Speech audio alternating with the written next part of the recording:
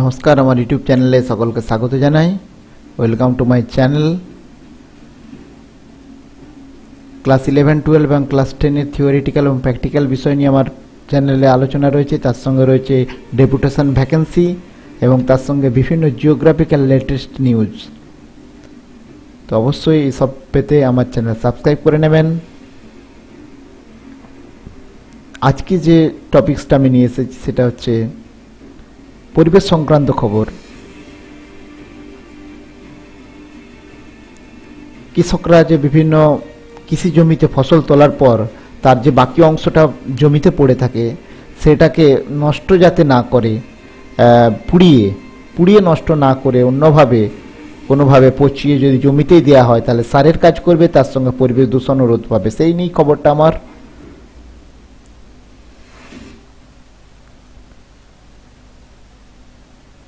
আর আমার চ্যানেল ভালো লাগলে অবশ্যই লাইক করবেন কমেন্ট করবেন, আর এই ধরনের ভিডিও আপডেট পাওয়ার জন্য আমার চ্যানেল সাবস্ক্রাইব করে নেবেন।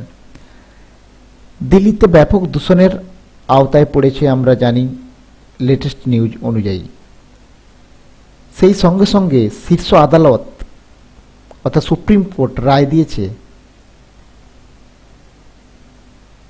খড় পোড়ানো নিষিদ্ধ। অর্থাৎ আমরা জানি ভারত কৃষি প্রধান দেশ, সেই কৃষি প্রধান দেশে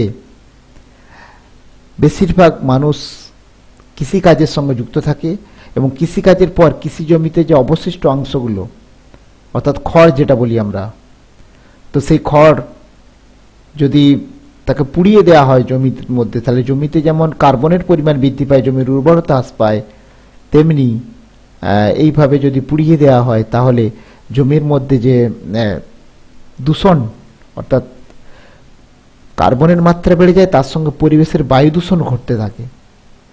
এবং সেই দূষণের হাত থেকে রক্ষা পেতে শীর্ষ আদালত যে রায় দিয়েছে সেই অনুযায়ী যে জমিতে আর কিন্তু এই ফসলের অবশিষ্ট অংশ সেটাকে জ্বালিয়ে বা পুড়িয়ে দেওয়া যাবে না। কিন্তু এ নিয়েও কৃষকদের মধ্যে কিন্তু মতবিরোধ রয়েছে।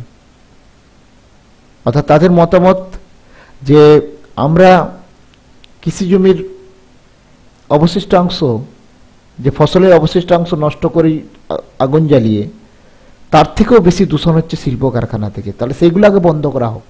তো এই নিয়ে নানা মতবিরোধ রয়েছে। থাকলেও পরিবেশের সুরক্ষার দিক থেকে এটাও যেমন একটা ক্ষতিকর প্রভাব পড়ে পরিবেশের ওপর, তেমনি শিল্প কারখানার ধোঁয়া বা যানবাহনের ধোঁয়া এটাও পরিবেশের ওপর একটা প্রভাব পড়ে। তাহলে এটাও যদি আমাদের হাতের নাগালে আমরা যদি এটা বন্ধ করতে পারি, তাহলে অনেকটা পরিবেশ দূষণ থেকে আমরা রক্ষা পাবো। বা পৃথিবীকে এই পরিবেশ দূষণের হাত থেকে কিছুটা রক্ষা করা যেতে পারে। তো সেই ধরনের একটা খবর সাম্প্রতিক বেরিয়েছে। সাম্প্রতিক দিল্লি প্রচণ্ড দূষণের মধ্যে পড়েছিল আমরা জানি। তো সেই অবস্থা থেকে যদি সেই দূষণের হাত থেকে রোধ করার জন্য দিল্লির অঞ্চলের পার্শ্ববর্তী অঞ্চল পাঞ্জাব, হরিয়ানাতে এখানে ব্যাপক পরিমাণে কৃষি জমিকে এইভাবে দাহ করা হচ্ছে মানে অবশিষ্টাংশ ফসলের পুড়িয়ে দেওয়া হচ্ছে। তাহলে এর ফলে বাতাসে যেমন কার্বন ডাইঅক্সাইড কার্বন মনোক্সাইডের পরিমাণ বেড়ে যাচ্ছে, তার সঙ্গে পরিবেশের যে স্বচ্ছতার অভাব ঘটে যাচ্ছে।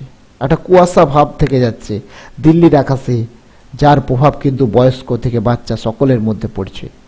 তো সেই প্রভাব থেকে রক্ষা পেতে গেলে এটা একটা যেমন পদক্ষেপ, তার সঙ্গে সঙ্গে শিল্প কারখানা থেকে যে বিভিন্ন দূষিত গ্যাস নির্গত হচ্ছে, সেই দূষিত গ্যাসগুলো যাতে আর বেশি নির্গ, পরিমাণে নির্গত না হতে পারে, যানবাহনের ধোঁয়া থেকে যাতে পরিবেশ দূষণটা বেশি না হতে পারে, তার জন্য অবশ্যই উন্নত মানের যন্ত্রপাতি ব্যবহার করতে হবে এবং সেই বা বিভিন্ন ধরনের যন্ত্রাংশ ব্যবহার করতে হবে, যার ফলে পরিবেশ দূষণটা কম হয়। এদিকে সকলকে লক্ষ্য রাখতে হবে। তাহলেই আমরা একটা দূষণমুক্ত পৃথিবী গড়ব। বা দিল্লির যে সাম্প্রতিক দূষণে এত কবল প্রচুর পরিমাণে প্রভাব পড়েছে, সেই হাত থেকেও রক্ষা করা যাবে। কিন্তু এইভাবে যদি অনবরত ঘটতে থাকে, তাহলে কিন্তু বিশাল একটা সংকটের মুখে দাঁড়িয়ে যাবে আমাদের পৃথিবী বা তার সঙ্গে এই শহর। দিল্লি শহর, তার সঙ্গে আরও ভারতের অন্যান্য শহর। আমি সেই অংশগুলো একটু তুলে ধরছি। কীভাবে প্রচুর পরিমাণে ধোঁয়া বায়ুতে মিশে যাচ্ছে, আপনারা দেখতে পাচ্ছেন। কৃষি জমির দশ- ফসলের অবশিষ্টাংশ দূষণের ফলে। আর এইভাবে সাম্প্রতিক যে দিল্লিতে এভাবে কুয়াশাচ্ছন্ন আবহাওয়া তৈরি হয়েছে, যার ফলে স্কুল, কলেজ শিশুরা কিন্তু আর যেতে পারছে না বা অবশ্যই মাস্ক ব্যবহার করতে হচ্ছে সব সময় অনবরত বাইরে বেরোতে হলেই কাজের জন্য মাস্ক মাস্ক অবশ্যই নিতে হচ্ছে। তার সঙ্গে এইভাবে পরিবেশ দূষণ কিন্তু একটা ভয়াবহ আকার ধারণ করেছে। যদি এর বিরুদ্ধে যদি বা এর প্রতিকারের ব্যবস্থা যদি না করা যায়, তাহলে কিন্তু এর ভবিষ্যৎ খুবই একটা খারাপের দিকে ইঙ্গিত দিচ্ছে। তো কৃষকদের যে কৃষি জমির চল্লিশ শতাংশ পাঞ্জাব হরিয়ানা অঞ্চলে জমি তৈরি করার জন্য পোড়ানো হয় ফসলের অংশগুলো। সেই বাড়তি অংশ যাতে সম্পূর্ণ পুড়িয়ে না দেয়া হয় তার সঙ্গে সঙ্গে ডিজেল চালিত জেনারেটর যাতে ব্যবহার করানো হয়, তার জন্য কিন্তু ব্যবস্থা নিতে হবে। এটা উত্তরপ্রদেশ সরকারকে অবশ্যই ব্যবস্থা নিতে হবে।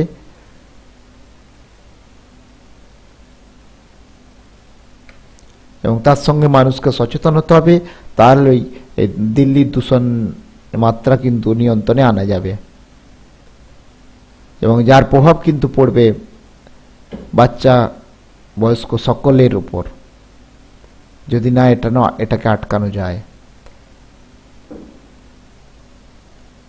এখানে একটা রিপোর্টে দেওয়া রয়েছে ইপিসি এর রিপোর্ট অনুযায়ী দিল্লির দূষণের চল্লিশ শতাংশ দায়ী হরিয়ানা পাঞ্জাবের জমিতে তুলে নেওয়া ফসলের বাড়তি অংশ পড়ানো। তাহলে এই চল্লিশ শতাংশ যদি রোধ করা যায় অনেকটাই রোধ পাবে। তার সঙ্গে বাকি নির্মাণ কাজে যে ব্যবহৃত ডিজেল চালিত গাড়ি শিল্প কেন্দ্র থেকে নির্গত ধোঁয়া এইসবের থেকে আসে। তো সেই তার প্রভাব থেকে আহ, কিছুটা আমাদেরকে রক্ষা করতে হবে উন্নত যন্ত্রপাতি ব্যবহারের মাধ্যমে। তাহলে এইভাবে দুদিক থেকে যদি ব্যবস্থা নেওয়া যায়, তাহলে অবশ্যই দূষণকে রোধ করা যাবে। এরকমই খবরে সাম্প্রতিক প্রকাশ। সেটা আমি তুলে ধরলাম। আর আমার ভিডিও ভালো লাগলে অবশ্যই লাইক করবেন কমেন্ট করবেন।